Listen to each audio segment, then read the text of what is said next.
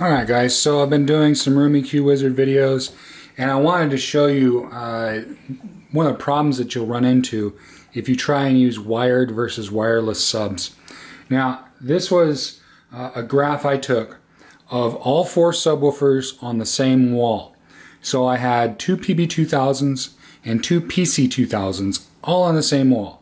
And as you can see, it's a pretty good looking graph. It's pretty flat uh, it's you know it's not bad. Now I'm going to show you what happens when you try and run two wired wireless with two wired subs. Don't look so good. Uh, you know I'm sitting here running four amazing subs that should be just rocking. And this was my initial setup was uh, with this purple line, and I'm like something's missing here. This should be amazing, and this is just no good. And I knew it wasn't the subs because I knew both subs measured exactly the way they should be. And so when I finally got around to measuring it, this is what I found. I didn't know why I was seeing it.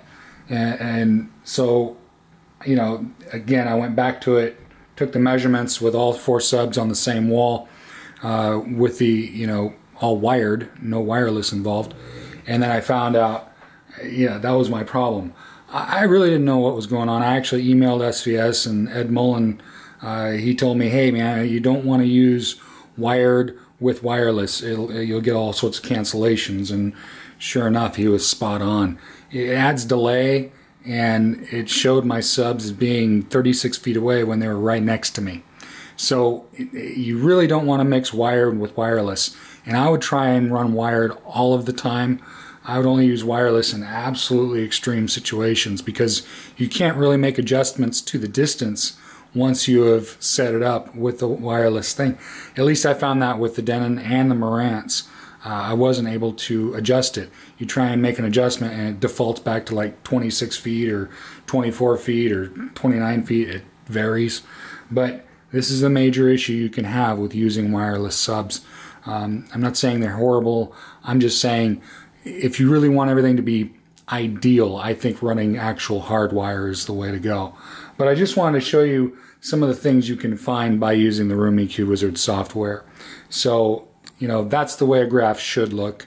And that's the way it looks when you try and run, you know, uh, wired and wireless together. It's just a mess. And, you know, I had someone who was brand new to all this come here and experience this. And I'm like, man, wait till he hears it correct because he was hearing it uh, when he first heard it.